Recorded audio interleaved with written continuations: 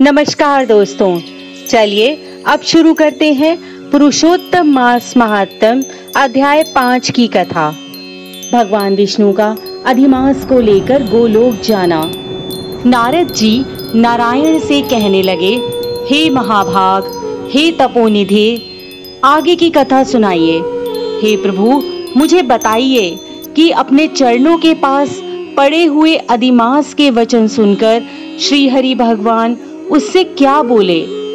नारद जी के ऐसे वचन सुनकर श्री हरि भगवान उनसे बोले, हे निष्पाप नारद जी श्री हरि ने जो अधिमास से कहा, सो मैं तुमसे कहता हूँ। सुनो, हे मुनि श्रेष्ठ, तुम धन्य हो, जो मुझसे ऐसी श्रेष्ठ कथा पूछते हो। तब श्री कृष्ण भगवान बोले, हे अर्जुन, मैं तुमसे वैकुंठ का वृतांत कहता हूँ। सो सुनो श्री विष्णु के नेत्रों के संकेत से गरुड़ जी मूर्छित हुए मलमास की पंखों से हवा करने लगे। तब होश आने पर मलमास बोला, हे नाथ, मुझे यह सब अच्छा नहीं लग रहा है। हे जगदाधार, हे जगतपते, हे विष्णु, मुझे शरण में आए हुए की रक्षा करो रक्षा करो। तुम शरणागत को क्यों त्यागते हो? ऐसा कहकर कांपता हुआ मलमास बार बार विलाप करने लगा। तब उससे बैकुंठवासी ऋषिकेश भगवान ने कहा, हे वत्स, तेरा दुख निवारण होने का कोई उपाय तो नहीं दिखता है। तू सोच मत कर। उठ, तेरा कल्याण होगा। ऐसा कहकर मन में पल भर में उपाय निकालकर फिर श्री विष्णु भगवान बोले, हे वत्स, आओ मेरे साथ गोलोक, धाम चलो, जो योगियों को भी दुर्लभ है, जहाँ भगवान श्री कृष्ण रहते हैं। वहाँ गोपी गणों के मध्य बैठे, दो भुजा वाले मुरलीधर, नवीन मेघ के समान, श्याम शरीर, कमल जैसे विशाल नेत्र, ऐसे ईश्वर पुरुषोत्तम भगवान श्री कृष्ण चंद विराजमान हैं। शरद ऋतु के पूर्ण चंद्रमा के समान, जिनके मुख की शोभा है। करोड़ों कामदेवों की भांति सलोने चित चोर, लीला के धाम पीताम्बरधारी तुलसी, कुंद, मंदार और पारिजात के पुष्पों की माला पहने, प्रेम के आभूषण पहने, अलंकार रूप, भक्तों पर दया करने वाले, कस्तूरी और केसर युक्त चंदन से लेपित शरीर, वक्षस्थल पर श्री वत्स चिन्ह और कौस्तुभ मणि और भृगु की लात से सुशोभित हृदय, सिर पर श्रेष्ठ रत्नों से जड़ित मुकुट और कानों में कुंडल पहने हुए, पार्षदों से घिरे हुए, रत्नों से जड़े सिंहासन पर बैठे हुए वे ही पर ब्रह्म पुराण पुरुषोत्तम हैं। स्वेच्छा में ब्रह्मांड के बीज सर्वाधार, परात्पर, निष्काम, निर्विकार, अत्यंत परिपूर्ण, प्रभु, प्रकृति से परे, ईशान, निर्गुण, नित्य विग्रह श्री कृष्ण गोलोक में तेरा दुख दूर करेंगे। चल, वहीं चलते हैं। श्री नारायण बोले, इतना कहकर हरि भगवान मलमास का हाथ पकड़कर गोलोक की ओर ले गए। हे नारद मुनि, वहाँ पहले अज्ञान रूपी अंधेरे का नाश करने वाले ज्ञान रूपी मार्ग को दिखाने वाले प्रलय काल में ज्योति स्वरूप करोड़ों सूर्यों के समान प्रभा वाले नित्य असंख्य विश्व के कारण विभु परमात्मा की इच्छा में लाल रंग की ज्योति दिखाई दी।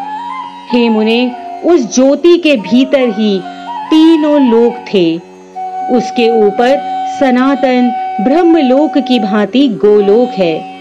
वह तीन करोड़ योजन में फैला हुआ है। मंडलाकार, तेज पुंज स्वरूप, श्रेष्ठ रत्न वाली भूमि से युक्त है, जो बड़े बड़े लोगों को स्वप्न में भी अदृश्य है।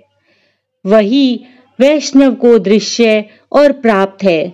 उसे योगेश्वर श्री कृष्ण ने योग द्वारा धारण कर रखा है।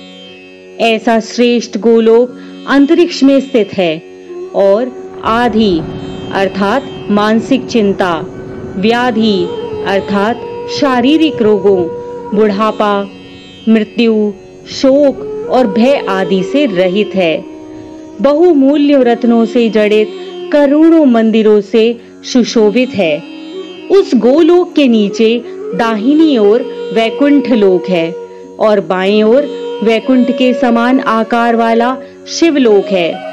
वैकुंठ का फैलाव एक करोड़ योजन में है और उसका आकार, जिसमें करोड़ों योजन लंबा और महामंडलाकार है, वहाँ पीले वस्त्रों से शोभायमान वैष्णवजन रहते हैं। वे वैष्णव, शंख, चक्र, गदा और पदमधारी लक्ष्मी जी के साथ चतुर्भुज में रहते हैं और वैकुंठ की स्त्रियाँ लक्ष्मी जी के समान ही सुंदर हैं। उनके चलने से पायजेब और करघनी की आवाज़ बड़ी प्यारी होती है। गोलोक के बाई ओर जो शिवलोक है, वहाँ प्रलय नहीं होता और सृष्टि काल में पार्षद लोग रहते हैं। और वह एक करोड़ योजन में फैला हुआ है। वहाँ महादेव जी के गण सारे शरीर में भस्म रमाए, सर्पों के जनेऊ पहने, ललाट पर अर्धचंद्र धारे, हाथ में शूल, पट्टिश लिए, जटाओं में गंगा धारण किए हुए तीन नेत्रों वाले पराक्रमी शूरवीर रहते हैं। गोलोक में निरंतर परमानंद कारक परम हर्ष को करने वाली अत्यंत मनोहर एक महान ज्योति है। उस ज्योति में अत्यंत सुंदर एक रूप है, जो नील कमल के समान श्याम वर्ण, कमल के समान लाल नेत्र आनंद जनक निराकार, परे से भी परे, जिसका योगी जन अपने ज्ञान चक्षुओं से निरंतर ध्यान करते रहते हैं।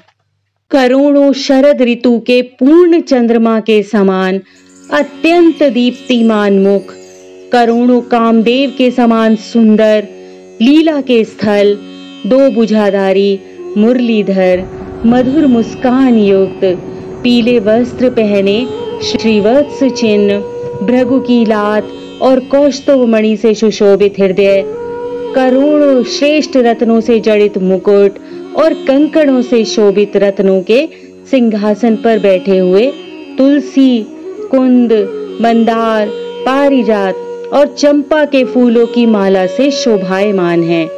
वे ही पर ब्रह्म श्री कृष्ण जी हैं, जो स्वेच्छा में सबके कारण रूप, सर्वाधार, बाल्यवस्था वाले, गोपाल रूपधारी, करोड़ों पूर्ण चंद्रमा के समान शोभायमान भक्त जनों पर अनुग्रह करने वाले इच्छा रहित, निर्विकार, अत्यंत परिपूर्ण प्रभु, रास मंडल के मध्य में बैठे हुए शांत रासेश्वर हरि, मंगल रूप पूजने योग्य, मंगलों में मंगल, परमानंद घन, सत्य स्वरूप, अक्षर, अव्यय, सब सिद्धियों के ईश्वर, सब सिद्धि स्वरूप और सिद्धि के देने वाले प्रकृति से परे ईशान, निर्गुण, नित्य विग्रह, सबके आदि पुरुष, अव्यक्त, इंद्र आदि देवों द्वारा स्तुति किए गए नित्य स्वतंत्र,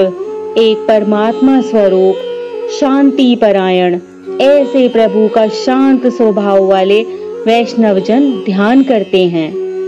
केवल उत्कृष्ट स्वरूप एक भगवान ने ही धारण किया है। यह कहकर विष्णु भगवान अधिमास को रजोगुण से घिरा हुआ जानकर गोलोक को ले गए। सूची बोले, सत्कर्म ग्रहण करने वाली वाणी कहकर जब नारायण चुप हो गए, तब नारद जी पुरुषोत्तम मास महा उत्सव संबंधी नई नई और अधिक कथाएँ सुनने की अभिलाषा से नारायण भगवान से बोले। इति श्री पुरुषोत्तम मास महत्तम कथा पंचम अध्याय समाप्त।